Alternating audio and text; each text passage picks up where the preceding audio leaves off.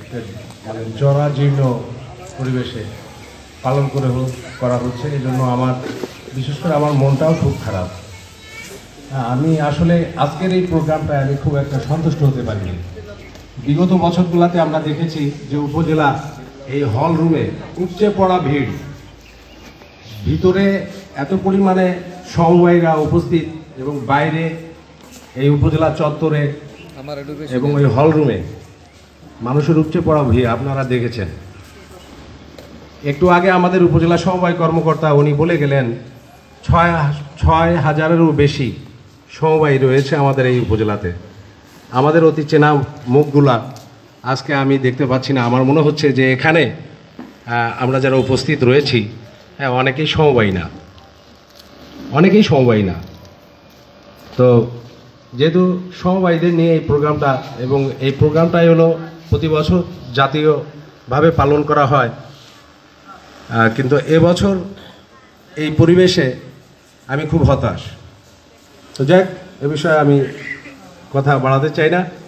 আমার এর আগে যিনি বক্তব্য রাখলেন মহিলা একজন সমবায়ী, উনি উনি একটা কথা বলে গেছেন যে যারা এই ট্রেনিং নেন সেলাই প্রশিক্ষণ নেন, সেলাই প্রশিক্ষণ পরবর্তী সময়ে তাদের সেলাই মেশিন প্রদানের জন্য উনি আবেদন জানিয়েছেন। তো বিষয়টা আমি সংশ্লিষ্ট কর্তৃপক্ষকে বলব যে আপনারা বিষয়টা একটু দেখবেন।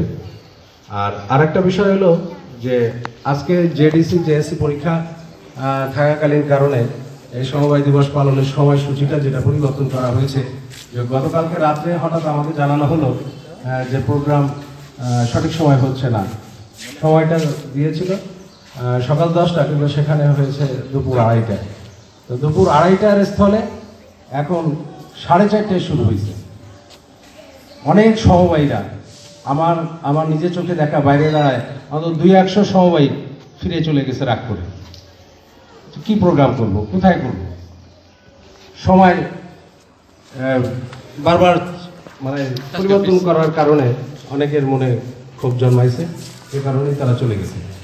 তো যাই হোক আমি আমাদের উপজেলা সমবায় অফিসারকে একটা কথাই বলতে চাই যে আপনারা যখন একটা ন্যাশনাল ডেতে আপনারা একটা ভিজিটিং ভিজিটিং বলছি ইনভাইটেড কার্ড সাবাইছেন সেখানে প্রধান অতিথি করছেন ফরিদপুর চার আসনের মাননীয় সংসদ সদস্য সাহেবকে এবং বিশেষ অতিথি করেছেন উপজেলা চেয়ারম্যান সাহেব মহোদয়কে।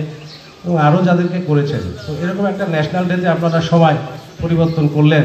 আর আসন্ন এই যে একটা জেডিসি পরীক্ষা, এই দুটো বিষয়ে আমার মনে হয় কেমন একটা উপজেলা সমবায় অফিস এবং উপজেলা প্রশাসনের কার্যালয়ের সাথে একটা সমন্বয়হীনতার একটা বিষয় আমার কাছে লাগছে আর কি, যে তার সমন্বয়ের অভ- অভাব ছিল। তো আরেকটা বিষয় বলতে চাই যে এরকম যদি মানে বারবার আগামী বছরগুলোতে এরকম করা হয়, তাহলে সমবায়ীরা আসলে হতাশ, আরও বেশি হতাশ হয়ে পড়বে। তো আমি অনুরোধ করব যে পুনরায় যেন এ ধরনের কোনো কিছু না হয়, আগামী বছর যাতে আমরা আরও ভালোভাবে এটা পালন করতে পারি। ব্যানারে লিখছে বর্ণাঢ্য র্যালি। বর্ণাঢ্য শব্দের অর্থ ব্যাপক। ছোট্ট একটা র্যালি এখান থেকে বেরোয়, পিছনের গেট দিয়ে ঢুকে পড়ল। এটা বর্ণাঢ্য নয়। এটাকে আমি বর্ণাঢ্য বলতে রাজি না।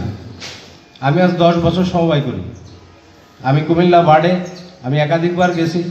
কিছুদিন আগে আমাদের সমবায় অধিদপ্তরের আপনার উপনিবন্ধক মৃণালকান্তি বিশ্বাস, উনি একটা গণশুনানির আয়োজন করছিল ফরিদপুরে। সেখানে আমি ছিলাম। আমি সেখানে বক্তব্য রেখেছি। আমি সেখানে সমবায়দের বিভিন্ন স্বার্থ সংশ্লিষ্ট বিষয়েও কথা বলেছি।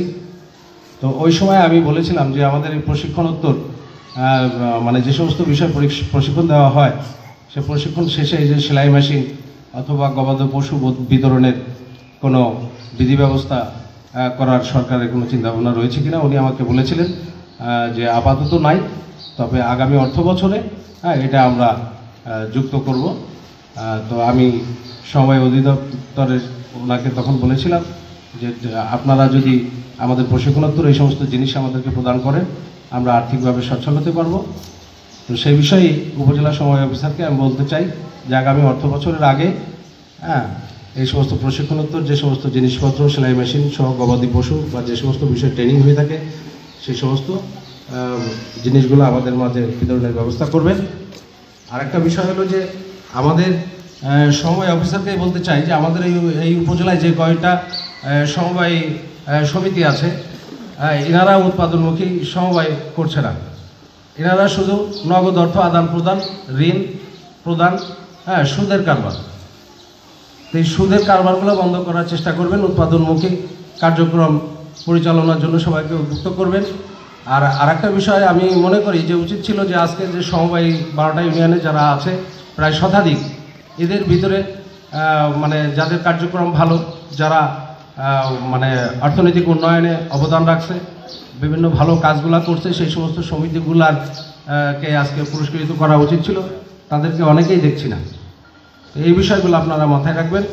সর্বশেষ সবাইকে ধন্যবাদ জানিয়ে আমি আমার সংক্ষিপ্ত বক্তব্য শেষ করছি। খোদাফেজ ধন্যবাদ।